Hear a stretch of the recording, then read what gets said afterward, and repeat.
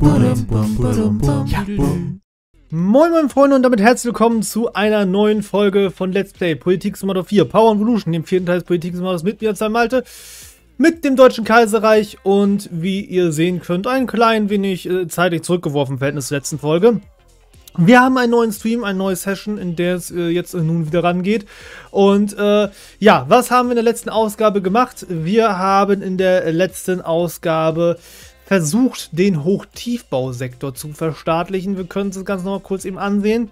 Ich hatte das hier als ähm, Hicks, Entschuldigung, als Anweisung rausgegeben gehabt, quasi, beziehungsweise Abstimmung, wo die Leute sich dann dafür entschieden haben, dass wir das machen sollten.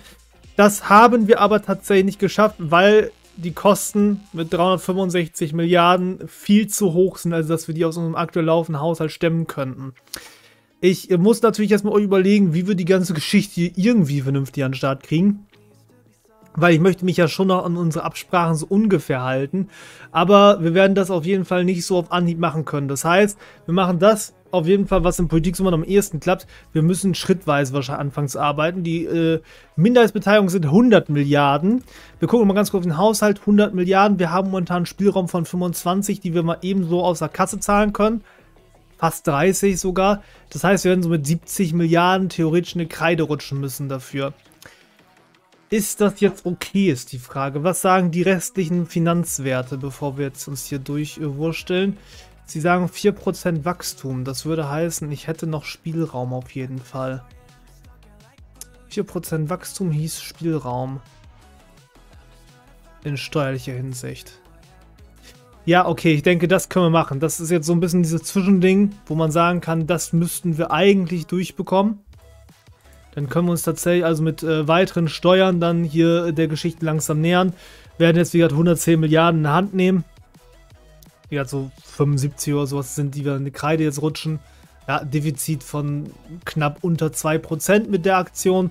Okay, aber wie gesagt, dafür dürften wir dann ja, uns der Geschichte so ein bisschen nähern, dann müssen wir das nächste Mal im nächsten Step halt nicht ganz so viel Geld zahlen. Ne? Also dann reden wir jetzt dann noch von, ich glaube, so 240, die dann noch offen sind. Immer noch eine ganze Stange Geld, aber das können wir vielleicht dann irgendwie gebacken kriegen.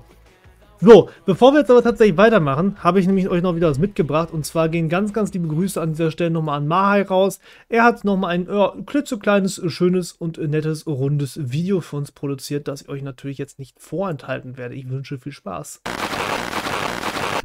Hallo und herzlich willkommen zu diesem Informationsfilm über Ambition und Ziele des Deutschen Kaiserreichs und dessen Kaiser Malte I. Unser Kaiser möchte Länder nicht nach politischen Grenzen, sondern nach ethischen Grenzen ziehen. Dadurch kommt Stabilität und Frieden. Um diese Ziele erreichen zu können, darf und muss man militärische Operationen durchführen.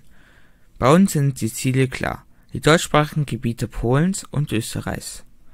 In den ehemaligen Kolonien sind auch noch viele Deutsche. Um sie zu schützen, werden wir auch dort keinen Halt vor militärischen Operationen machen. Das Kaiserreich steht für Fortschritt und Zukunft so werden die modernsten Technologien entwickelt. Wenn ihr also für den Kaiser seid, dann seid ihr für Frieden und Fortschritt. Ja, sogar exakt mit selben Pulli tatsächlich hier sitzen, äh, sitzend. Ich weiß gar nicht, das ist jetzt tatsächlich so Captain Zufall. Aber ja, ähm, dann habe ich euch jetzt dementsprechend auch mal zeigen können. Das war mir jetzt tatsächlich nochmal vielen Dank dafür auch ganz wichtig, weil ich habe immer wieder die Nachfrage auch bekommen.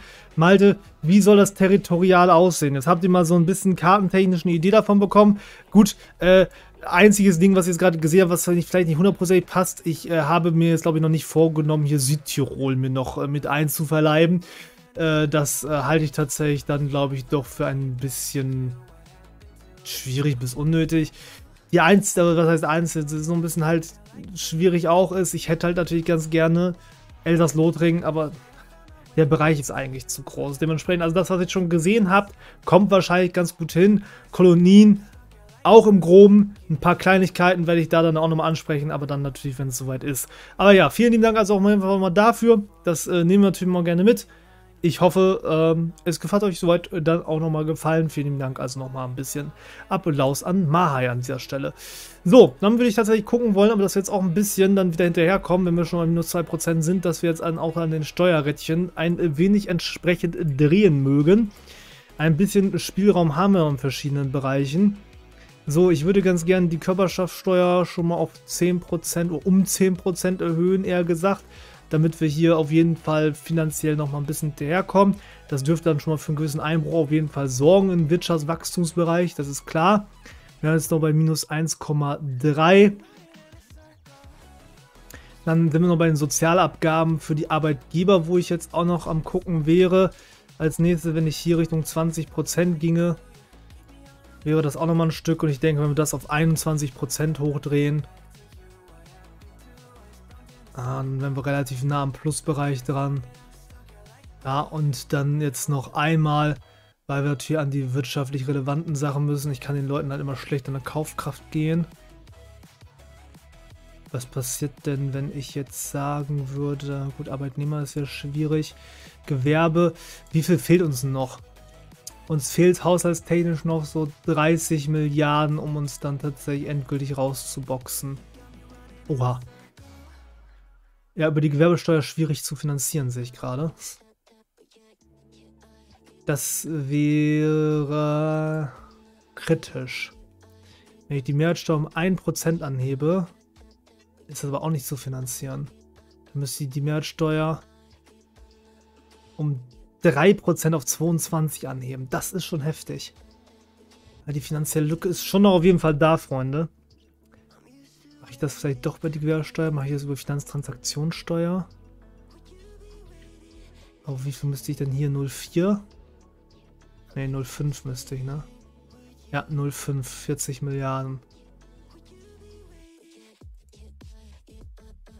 So, und dann würde ich mich knapp in Überschuss retten. Das wäre jetzt natürlich wieder sinken, aber wir müssten ungefähr plus minus nur rauskommen, weil natürlich jetzt klar die Wirtschaft damit extrem beeinflusst wird. Ich bin ja natürlich kein großer Fan der Finanztransaktionssteuer, aber ich muss jetzt natürlich gucken, nachdem er mir meine anderen Waffen ja schon mal ein bisschen weggenommen hat, dass wir da jetzt dann versuchen drüber zu kommen. So, dann gucken wir mal, was passiert, um da jetzt dann irgendwie ja auf den grünen Zweig zu gehen. Warlord hat vorher noch einen Tipp gehabt, erst die Wirtschaft in Schwung bringen, warte ein paar Monate, dann kannst du versteigen. Wie gesagt, wir machen jetzt so eine Teilverstaatlichung an dieser Stelle erstmal, so als ersten Step und gucken, dass wir das so nach und nach dann integrieren können. Äh, du musst später, wenn du Krieg führst, um die neuen Regionen zu bekommen, nicht Land zur Kapitulation zwingen, sondern musst einen Friedensvertrag machen, wo vereinbart, ja, ja, genau, das weiß ich schon.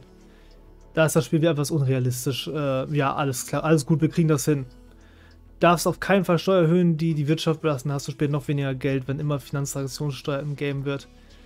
Äh, ja, alles gut. Ne, kriegen wir schon hin. Wird es heute noch einen Feldzug geben? Um Himmels Willen, ich habe nicht mal eine Armee. Welcher Feldzug? Wie soll ich denn das organisieren? Also nochmal ganz kurz zum Stand der aktuellen Reichswehr. Wir, wir haben bald hier 100.000 Mann zusammen. Äh, Ausrüstung. Gut. Wir haben theoretisch Panzer. Ich weiß zwar nicht, wo sie sind, aber wir haben Panzer. Gut, ein Teil davon muss auf jeden Fall in Berlin stehen. Wir haben keine militärischen Stützpunkte, gar nichts in der Richtung.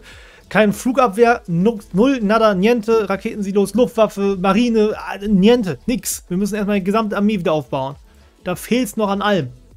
Deswegen, also das sind auch noch so Schritte, wie gesagt, wir sind gerade dabei, ja nur die Wirtschaft erstmal unter Kontrolle zu kriegen, beziehungsweise dahin zu bringen, wo sie hin soll. Wir müssen uns noch auch Zeit um so Themen kümmern wie Energieversorgung.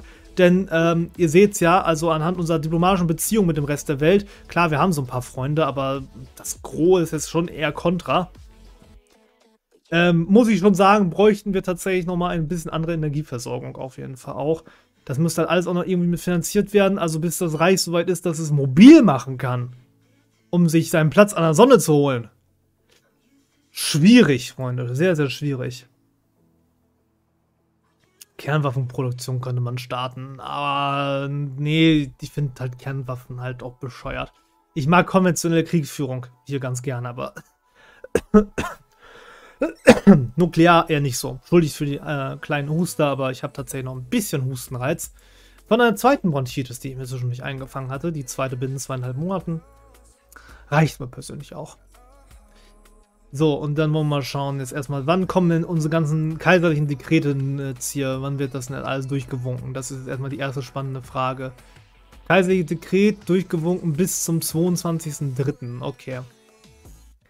Dann würde ich sagen, marschieren wir erstmal bis dort hinten hin und dann dürften wir eigentlich ja soweit hoffentlich startklar dann sein, dass wir zumindest so einigermaßen uns im Plus-Minus-Null-Rahmen halten sollten. Dann kann ich noch mal ein bisschen die Steuern nachziehen und dann dürften wir es haben. Also einen zweiten Steuerschritt möchte ich jetzt aktuell nicht ausschließen. Ich glaube, einen werden wir dahingehend tatsächlich brauchen. Hm. Ist das Deutsche Kaiserreich in der Lage, Fusionsreaktoren zu bauen? Gute Frage. Äh, so erstmal das Gesetz gebilligt hier, was die öffentliche, äh, was diese äh, Verstadigung angeht, des Sektors, so Sozialabgaben interessiert mich nicht. Wie sah ein Geheimnis aus? Wie viele Terrororganisationen haben wir noch, wo ich gerade die terroristische Drohung höre? Ah, nur vier Stück. Ja, sehr schön. Also zumindest äh, unser BND, oh, beziehungsweise vor allem unser Verfassungsschutz, das ist ja in erster Linie, arbeitet tatsächlich so ganz gut. Äh, kann ich die Musik noch ein kleines Stückchen irgendwie runterdrehen? Ich befürchte, das wird nicht gehen, ne? Dann muss ich das hier nochmal über Sekunde, weil mich stört das jetzt da wieder gegen anzubrüllen, äh, hier rüber regeln. Wo finde ich das denn? Muss das nicht hier sein? Ah, hier ist es. So, das ist mir schon angenehmer. Weiß ich nicht, wie das jetzt für euch von der, von der Akustik her ist, aber für mich ist das schon besser. So, dann haben wir tatsächlich äh, nochmal ökologische Überlegungen. Ja, Umwelt gucken wir, äh, Umwelt sag ich schon, da gucken wir später nach. So, wir kriegen jetzt tatsächlich aber unsere militärische Forschung. Die macht tatsächlich Fortschritt. Wir gucken mal ganz kurz rein. Wir haben ja momentan hier ein bisschen Gelder angelegt, dass es tatsächlich Militär zumindest bei 8 von 10 sind. Also überall jetzt tatsächlich forschungstechnisch bei 8 von 10. Noch nicht perfekt, aber wir kommen hinterher. Und, oha, haha, oh, oh, oh, oh. Dadurch tatsächlich kann es sein, dass wir jetzt hier Fortschritt erzielt haben die uns jetzt hier, äh, nein, keine Patentierung, aber ermöglichen, keine Patentierung, keine Patentierung. Alles, was ein militärisches Gerät ist, werde ich erstmal nicht patentieren lassen. Ich habe keinen Bock, dass äh, das irgendwer anders in den Griff kriegt. Aber scheint so, als ob wir dementsprechend tatsächlich wieder wirtschaftliche Fortschritte machen würden, trotz der Steuererhöhung, die wir jetzt hier in Anspruch genommen haben. Ja, tatsächlich, Wirtschaftswachstum liegt bei 4,5 Prozent. Es war vorhin bei 4. Das heißt, es ist jetzt tatsächlich sogar, trotz dessen, dass wir die Steuer erhöhen, hält das ganz gut Schritt. Das ist sehr, sehr gut. Das heißt, ich kann demnächst noch mehr abschöpfen gehen von unserem Überschuss rein in die Staatskasse, damit ich tatsächlich dann die Vollverstaatlichung durchkriege. So, Abgaben der Sozialabgabengeber, terroristische Bedrohung, Eure Majestät, ja, ja, ist okay, ich kann verstehen, dass ihr nicht ganz so happy seid. Beschäftigung leidet auch ein bisschen drunter, wir müssen mal gucken, was die Arbeitslosenquote so sagt. Das kann natürlich auch auf Staatskasse noch lasten. Die Feststellung. So, das Körperschaftssteuergesetz wurde per Dekret durchgewunken. Die Stimulierung des Wachstums ist unvereinbar mit dem Anstieg der Belastung der Unternehmen. Viele Investoren sind besorgt im Zusammenhang. Ja, ich bleibe erst einmal vage. Also unsere Wirtschaftsministerin freut sich natürlich nicht so sehr. Wir schauen uns mal ganz kurz rein. Ah, jetzt hat das Defizit dann dementsprechend zugeschlagen, Fragezeichen. Sehe ich das richtig? Bin ich mir jetzt nicht ganz hundertprozentig sicher, aber wir lassen nochmal kurz laufen. Ich glaube, damit sind wir jetzt tatsächlich auf dem Stand, was ich erwartet hatte. Das heißt, wir haben uns jetzt von minus 2 auf minus 1 hier runtergerobbt. Einzige Frage ist, ist es mit dem Wirtschaftswachstum noch so aktuell? Weil da muss die Steuern tatsächlich nochmal theoretisch nachziehen. Dann macht das denn Sinn? Warum war ich denn vorhin bei 0,9 plus? Warum bin ich jetzt zum Minus? Und warum steht denn hier noch dann aber 4,5% Wachstum? Das macht doch Einer keinen Sinn. Männer konnte Schlüssel. Das verstehe ich jetzt nicht. Versteht das ja von euch? Hier schließt das nicht. So, Kamera der nächsten Generation, ja, das finde ich tatsächlich gut. Ja, das ist okay, das kann man machen. Die wissenschaftliche Entdeckung wird durchgewunken. Äh, wie wäre es damit, Niedersachsen durchzufrecken? Nein, danke. Nee, wir werden auf erneuerbare Energien tatsächlich setzen und das auch nicht so knapp. Jetzt ist der öffentliche Haushalt wieder hochgesprungen. Oh, hat sie das jetzt also doch wieder eingependelt? Ah ja, okay. Äh, es macht noch ein paar kleine Hüpfer hin und her. Ich würde sagen, wir lassen das noch ein paar Tage weiterlaufen, bis das Spiel sich tatsächlich passend das durchsimuliert hat. Ah, Arbeitslosigkeit 4,8%, das ist okay. Das ist jetzt auch nicht zu viel. Mittlerweile übrigens Paris nicht mehr in Brand. Das hat mal jemand vorhin am Anfang gefragt, warum brennt Paris eigentlich? Ich konnte es euch selber nicht sagen, aber es brennt nicht mehr. Was ich aber sehe, ist, dass tatsächlich. Okay, es brennt plötzlich doch wieder. Also irgendwas scheppert hier. Ach, wahrscheinlich der Krieg zwischen den Russen und den Franzosen. Wobei ich mich dafür frage, da gibt es doch gar kein Kriegssymbol mehr. Naja, wir haben Aufstände bis zum Mond überall auf der Welt. Ah, diesen Chaosreiter, ich weiß gar also, da, also diesen Regler hätte ich runterdrehen müssen noch ein bisschen. Also irgendwie haben die das jetzt geschafft in 22er Version, zumindest meinen Geschmack, ist das, wenn ich das auf Medium habe, ist es ein bisschen arg ausgeprägt dafür. Ich meine, wir haben jetzt nicht mal schlimmste Verläufe dafür. Genau, wir pflastern hier ein paar Windräder voll. Bayern damit voll pflastern. Ja, nee, wir müssen natürlich schon gucken, wo Sinn macht. Ja, also Da werde ich mich natürlich. Oh ja, hohe Staatskassenüberschuss, sehr schön. Tipptopp. 45 äh, Milliarden, die natürlich jetzt dementsprechend als Überschuss erstmal da sind. Das kann auch als Anschubfinanzierung auf jeden Fall dienen für die Gesamtverstaatlichung, diese 45 Milliarden. Und schauen wir mal. So, äh, wie lange sind wir eigentlich hier schon dabei? Viertelstunde, ne, ungefähr? Ja, Viertelstunde müsste ungefähr sein. Ah, okay, weiß ich Bescheid. Es ist So, kein entscheidender Schlag, das ist mir auch egal. Jetzt sind wir mit dem Überschuss, ja, bei 0,3 sind wir. Also das ist okay. Ne, wie gesagt, da ist jetzt ein bisschen was da. So, wir schauen mal aufs Wirtschaftswachstum. Ja, jetzt hat sich das Wirtschaftswachstum ja auch eingependelt. Okay, wir haben 1,4% Wirtschaftswachstum, das heißt, abschöpfen ist jetzt nicht mehr so, aber wir haben ein leichtes Plus auf jeden Fall. Also so 11 Milliarden, nee, 12, 13 Milliarden sind es. Wir haben ein bisschen Überschüsse hier wirtschaften können. Das heißt, glaube ich, die Gesamtverschuldung oder dürfte es nochmal theoretisch demnächst nach unten treiben. Theoretisch können wir sogar auch Anschubfinanzierung nehmen. Das heißt, wir hätten so 50 Milliarden als Anschubfinanzierung. Aber ich habe ja kein Wirtschaftswachstum mehr, das ich opfern könnte. Ich glaube, jetzt gerade sind wir gezwungen, die Füße stillzuhalten, wa? Es wird wieder Zeit für eine kleine Abstimmung wahrscheinlich. Ich schiebe mal euch wieder eine Abstimmung rein. Sollen wir die Füße stillhalten? Ja, lass erstmal laufen. Nein, erhöhe die Steuern. So, zack, ihr könnt dementsprechend dann jetzt nochmal einmal abstimmen. Was wir jetzt hier machen sollen, derweil. Also, wir haben jetzt die Wahl, wir können jetzt halt sagen, dass wir die Steuern noch weiter erhöhen. Wir haben 1% Wirtschaftswachstum, wie gesagt, das ist jetzt nicht viel. Also, ganz, ganz viel Spielraum ist jetzt nicht mehr drin.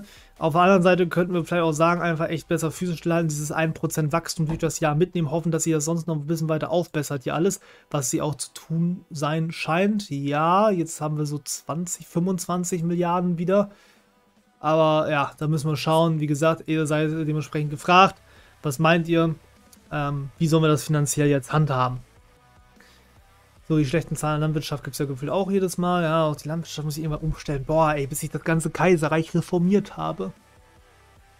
Ja, es ist auf jeden Fall eine spannende Arbeit und auch nicht zu knapp. Das muss man echt sagen. Irgendwann müssen wir auch die Armee aufbauen, aber erst tatsächlich will ich gucken, dass die gesamte Zivilwirtschaft, ne, weil klar, die Kriegsindustrie, die muss erstmal stehen. Weil ne, solange wir keine vernünftige keine vernünftige Grundlage haben, nachdem wir dann nach Macht streben können mit, solange wir das nicht passend oder füttert kriegen, brauchen wir gar nicht hier drüber reden und anfangen. Ne? Also erst muss das Kaiserreich natürlich unter seinem Herrscher, bevor es an die Rückeroberung alter Gebiete geht, ähm, erstmal zusehen, dass es wirtschaftlich passend auf die Beine kommt.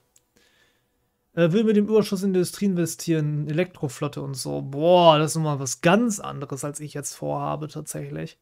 Ich werde jetzt nur am überlegen, ob wir tatsächlich die Überschüsse halt ausbauen sollten, um damit halt, also, was heißt überlegen, ne? also damit halt die Vollverstärkung durchziehen können. Das ist ja das, wonach mir der Sinn steht. So, die Beschäftigung ist ja besser geworden, scheinbar. Okay. Ja, Regimewechsel, de facto ist alles uns unvorteilhaft, was nicht äh, monarchistisch ist. Und das ist das meiste nicht. Hi, hab's noch geschafft. Grüß dich, Nebelakheim. Moin. Ich hoffe, dass ein ganz neuer Teil kommt, kein Pion R23. Ja, wenn es so wäre, mega geil, glaube ich aber ehrlich gesagt noch nicht dran. Wenn doch, könnt ihr euch davon ausgehen, dass wir uns mega freuen werden und natürlich gut in Promoting-Phase dafür einsteigen werden, aber ansonsten, wo ist denn jetzt Hamburg? Da ist Hamburg. Ich will mal gucken, wie das jetzt eigentlich reparaturtechnisch hier aus. Ah, okay, das dauert halt auch alles Ewigkeiten, bis die Städte wieder stehen. Da sind halt auch wirklich richtig krasse Kriegsschäden hier passiert im Bürgerkrieg. Ja, also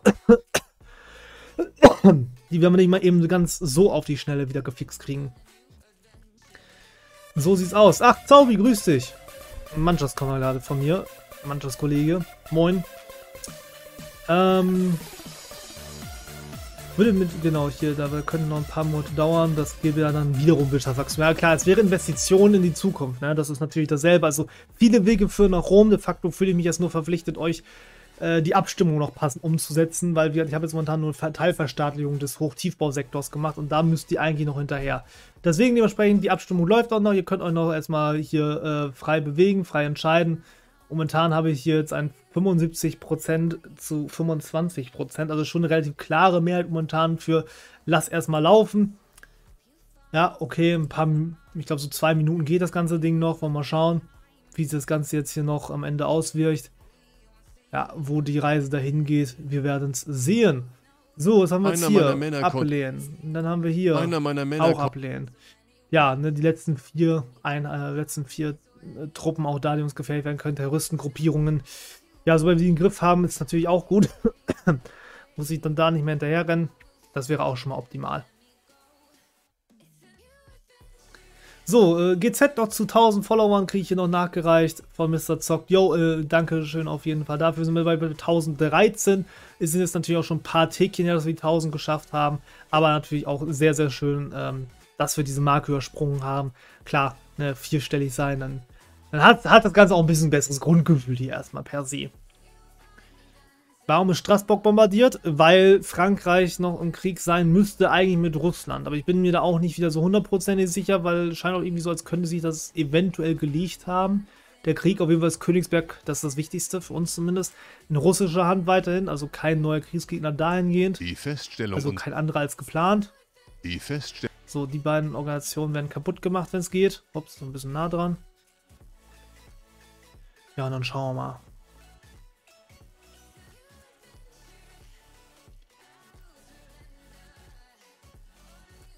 Die Nachrichten mit unvertafften Regimewechsel, die nerven mich auch tatsächlich. Also ich wünschte, die könnte ich abstellen. Die interessieren mich wirklich echt einen feuchten Kehricht. Weil dafür habe ich halt wirklich auch äh, en masse welche, ne? So, die letzten Sekunden der Abstimmung laufen. Okay, das Ergebnis ist doch relativ eindeutig. Wir sind bei 77%. Pro, lass mal laufen. Gameboy hat da auch noch 1500 Kanalpunkte zugeknallt. Also, ja, dann würde ich sagen, lassen wir es tatsächlich erstmal so weit durchlaufen. Wir gucken noch mal ein bisschen weiter. Wie viel haben wir jetzt hier? Ja, ist hier ein bisschen runtergegangen. 0,3 nur Überschuss. Das heißt, jetzt sind wir hier nur wieder bei 13 Milliarden. Ja, deswegen. Also ein bisschen schauen, abwarten, Tee trinken. Wirtschaftswachstum 1,2, 1,3 Prozent.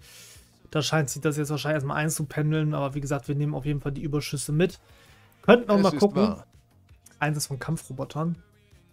Es sind nun neue Kampfroboter auf dem Markt verfügbar. Wir müssen diese schnell beschaffen, da wir hierdurch einen bestimmten Vorteil in verschiedenen Konfliktsituationen erlangen werden. Machiavelli, verschwinde! Ich will dich jetzt gerade nicht. Also, deine Prinzipien brauche ich als Kaiser zwar schon, aber ich muss da eigentlich hintersehen. Äh. Boah, okay, das ist ja wirklich Machiavelli live, ne? Ich habe Machiavelli übrigens äh, mindestens teilweise, ich weiß nicht, ob ich ganz, den ganzen Wälzer durch hatte, aber ich habe auf jeden Fall mindestens mal angelesen.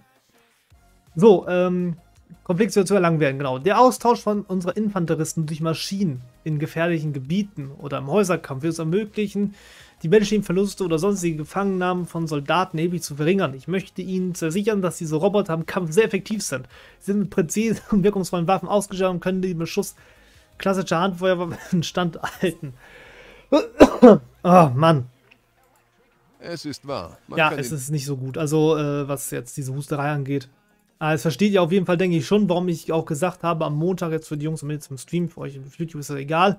Aber warum ich ähm, äh, gesagt hatte, dass ich den Montag da nicht streamen wollte. Ja, also da hätte ich euch nur rumgeröchelt, das äh, wäre absolut gar nichts geworden. Das kann ich euch auf jeden Fall schon mal so sagen.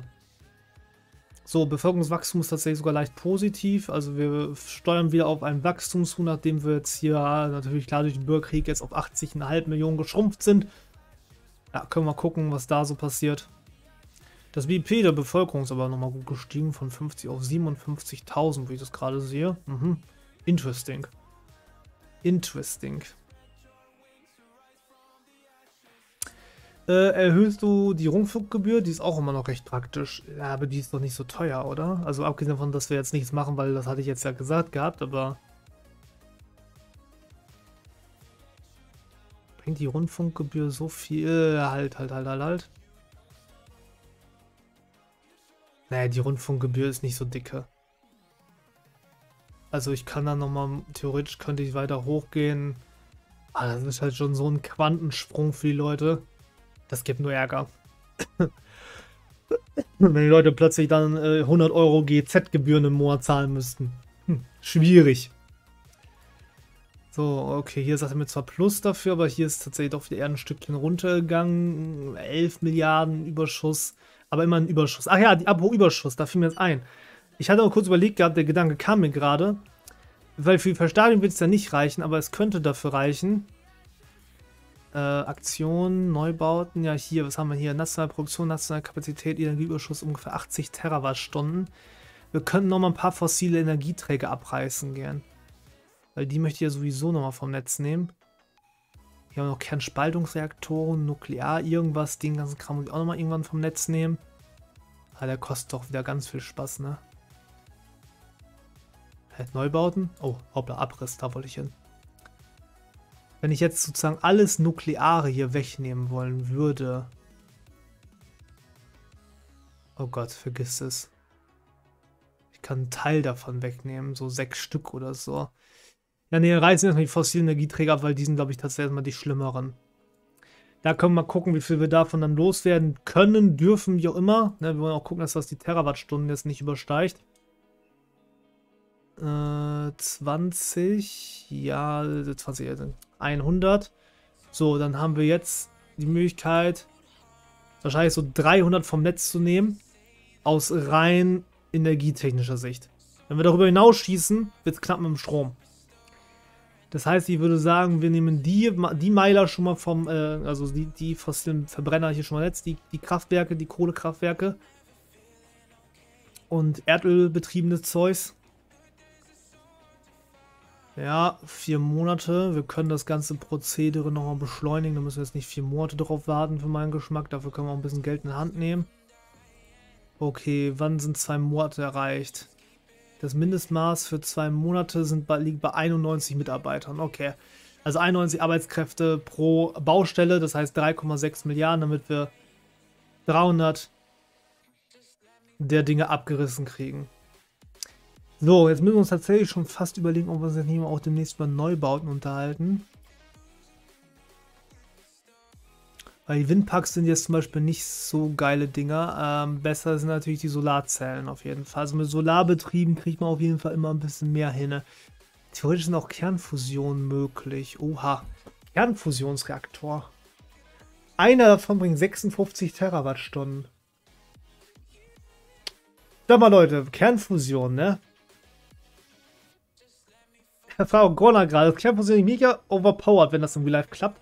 Ich glaube ja. Wir gucken mal, wir werden mal tatsächlich äh, schauen gehen. Ich möchte mal wissen, was war das nochmal mit Kernfusion? Das waren doch diese Geschichten, die jetzt nicht auf Spaltung aus waren. Eine Kernfusion. Zwei miteinander verschmelzen. Kernfusions... Nein, halt. Ich will mal wissen, was ist mit Kernfusionsreaktor. Ein Kernfusionsreaktor oder ein Fusionsreaktor ist eine technische Anlage, in der die Kernfusion kontrolliert abläuft. Strom ja, wäre dementsprechend geeignet zur Stromerzeugung, existiert aber noch nicht. Also halt nur prototypweise.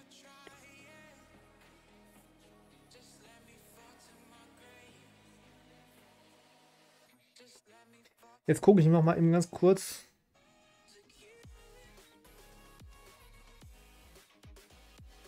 Hier, im Vergleich zu Kernspaltung hat die Kernfusion Vorteile. Sicherer und radioaktiver Abfall entsteht nur in geringen Mengen. Ich habe gehört, wir sollten vielleicht auf Kernfusion setzen. Als modernes Kaiserreich, Freunde. Scheiße, wir brauchen noch eine Abstimmung. Wir brauchen noch eine Abstimmung. Sollen wir auf erneuerbare Energien setzen oder auf Kernfusion? Wir müssen jetzt unser Energiekonzept ausrichten gehen. Ihr entscheidet. Wieder. Erneuerbare Energien oder Kernfusion? Auf welchem Energieträger soll das Reich laufen? Erneuerbare Energien, Kernfusion, Energie. Ich schreibe mal zu, dass es ungefährlich ist.